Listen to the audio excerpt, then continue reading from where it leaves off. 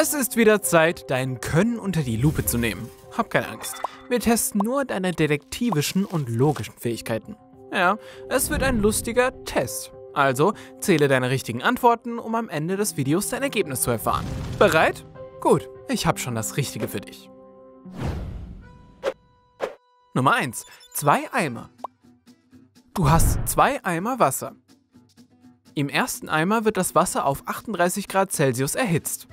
Im zweiten Eimer wird das Wasser auf minus 73 Grad Celsius abgekühlt. Du lässt gleichzeitig zwei Münzen in die Eimer fallen. Welche Münze erreicht den Boden zuerst?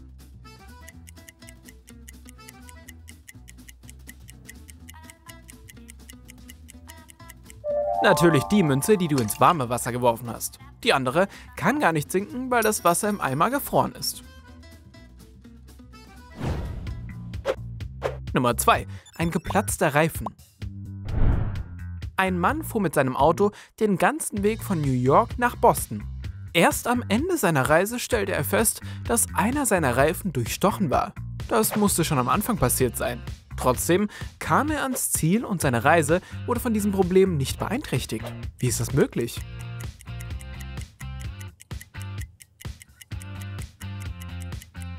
Der zerstochene Reifen war das Ersatzrad.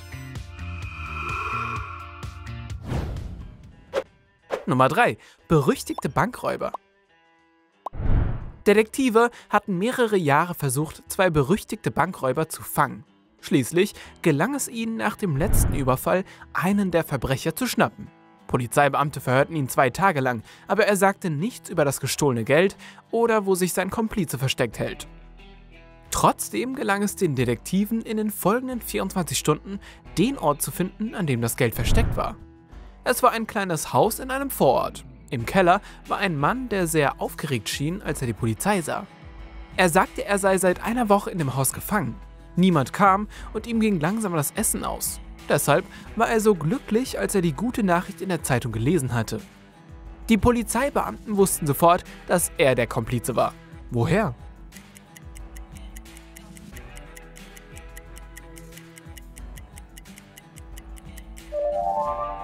Wenn er im Keller gefangen war, wie konnte er dann an eine aktuelle Zeitung kommen? Nummer 4. Eine interessante Frucht.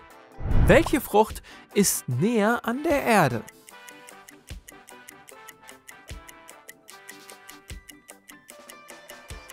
Die Erdbeere. Erwischt. Und ja, die Erdbeere ist eine Frucht, eine Sammelnussfrucht, weil sie außen Kerne hat.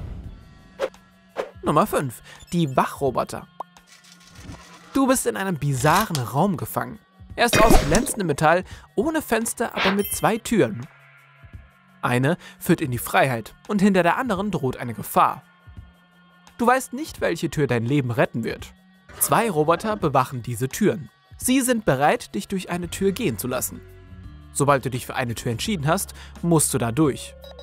Gut ist, dass du den Robotern eine Frage stellen darfst. Bedenke aber, einer sagt immer die Wahrheit und der andere lügt immer. Du weißt nicht, welcher welcher ist. Welche Frage solltest du stellen?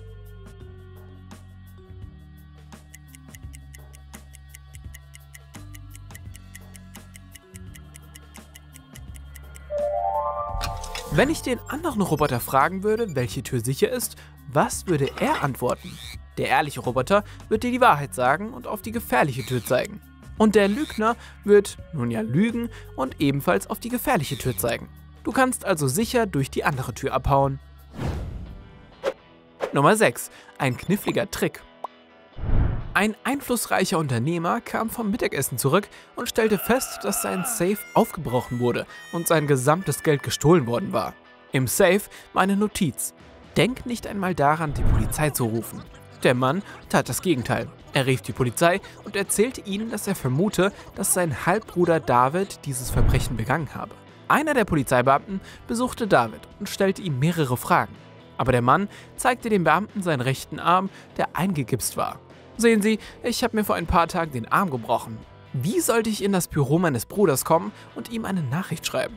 Dem Polizeibeamten bleibt nichts anderes übrig, als zu gehen.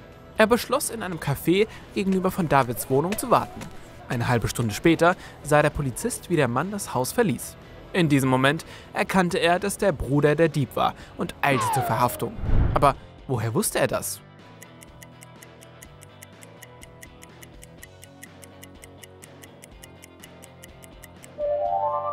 Der Polizist bemerkte, dass David beim Verlassen seiner Wohnung den Gips nicht an seinem rechten, sondern am linken Arm trug. Nummer 7. Ein Schmuggler.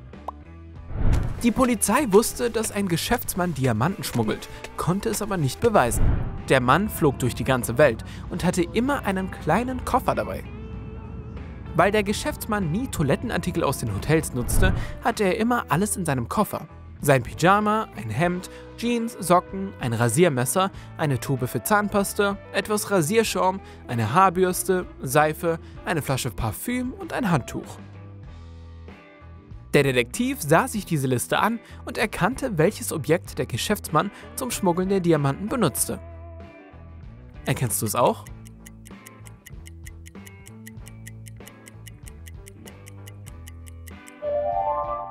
Der Mann schmuggelte die wertvollen Edelsteine in der Zahnpastatube. Er hatte immer einen Gepäck, aber nie eine Zahnbürste. Sein schlechter Atem war bestimmt auch schon aufgefallen. Nummer 8. Familienbande. Der kleine Paul zeigt auf jemanden und sagt, sie ist die Tochter des einzigen Kindes meiner Großmutter. Ist diese Person mit Jamie verwandt?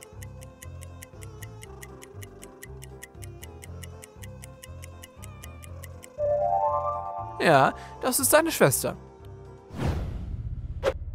Nummer 9. Eine gefährliche Kiste. Du bist in einem Keller eingesperrt. Um da rauszukommen, musst du deine Hand in eine von drei Kisten stecken. In der ersten Kiste sind Ratten, die zweite ist mit Schlangen gefüllt und in der dritten sind Spinnen. Welche Kiste würdest du wählen?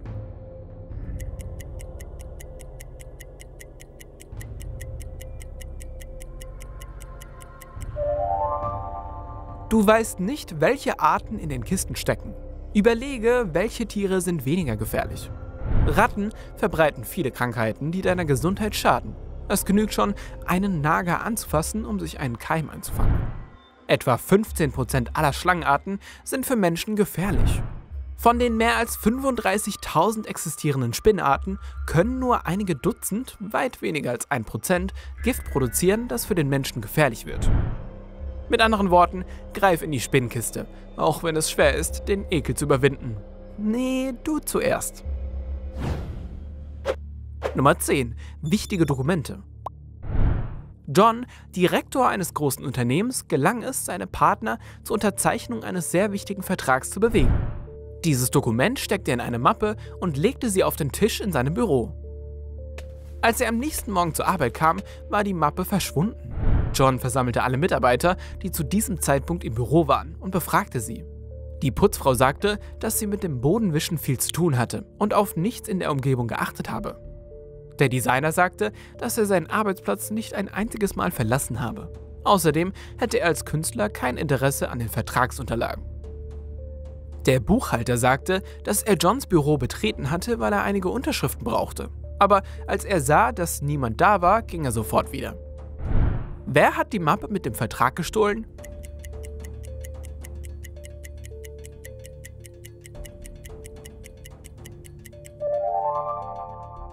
Es war der Designer.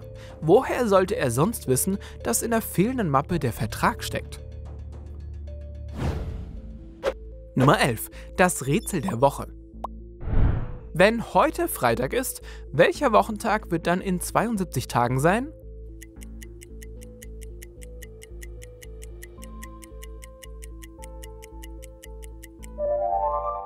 Sonntag. 72 Tage sind 10 Wochen und 2 weitere Tage. Freitag plus 2 Tage ist Sonntag. Nummer 12. Sockenpuzzle. Matthew trägt entweder nur schwarze oder nur weiße Socken. Eines Abends hat er es eilig, sich auf das romantische Abendessen mit seiner Freundin vorzubereiten. Plötzlich fällt der Strom aus. Matthew hat 10 weiße und 10 schwarze Socken in seiner Schublade, aber alle sind gemischt.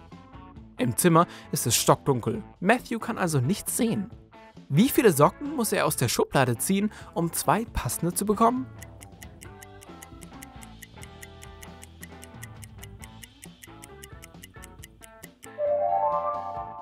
Nur drei. Bei einem Zug von drei ist die Wahrscheinlichkeit hoch, dass er zweimal die gleiche Farbe zieht.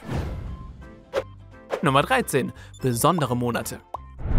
Was kannst du Mitte April und September sehen, aber nicht in den anderen Monaten?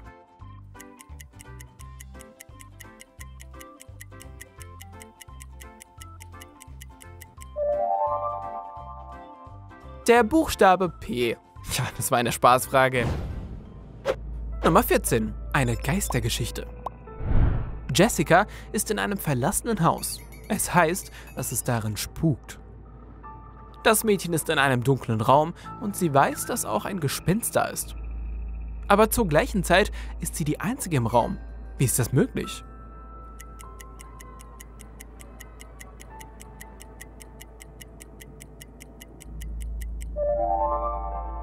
Jessica ist das Gespenst. Nummer 15. Eine Grenzfrage. Es wurde einmal direkt auf der Grenze von zwei Ländern ein Auto gefunden. Der Wagen war leer, aber der Kofferraum war voll mit Goldmünzen. Die Zollbeamten erkannten sofort, dass hier jemand versuchte, Gold zu schmuggeln. Aber welche Grenzschutzbeamten sollten in diesem Fall ermitteln?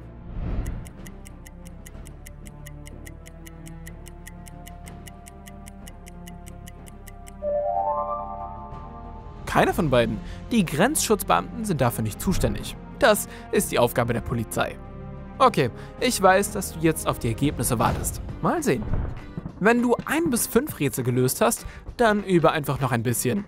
Integriere Rätselraten in deinen Alltag und besuche auch einige Detektivkurse. Hast du sechs bis zehn Rätsel richtig beantwortet, bist du gut, aber noch kein zertifizierter Detektiv. Aber mit Sicherheit bist du ein Detektivassistent. Wenn du 11 bis 15 richtig geknackt hast, dann willkommen an Bord. Du hast es verdient, mit Sherlock und anderen legendären Detektiven im selben Team zu sein. Und? Bist du Sherlock? Welche Stufe hast du erreicht? Hey, qualmt dir noch der Kopf vom Nachdenken? Dann like dieses Video und teile es mit deinen Freunden. Und jetzt kommen sehr informative Videos, die dich begeistern werden. Klicke einfach nach links oder rechts und bleib auf der Sonnenseite des Lebens.